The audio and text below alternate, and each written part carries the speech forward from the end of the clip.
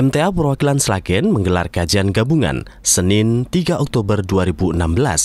Kajian gabungan tiga bulanan kali ini bertempat di MTA Cabang Pelupuh 4, Dukuh Nata, Desa Sidokerto, Kecamatan Pelupuh, Kabupaten Sragen. Hadir sebagai pemateri ialah Ketua MTA Perwakilan Sragen, Ustadz Agus Suhono MPD, yang memberikan tausiahnya supaya selalu menjadi orang yang beriman dan bertakwa kepada Allah Subhanahu wa Ta'ala, dan jangan sampai kita menjadi orang-orang yang rugi.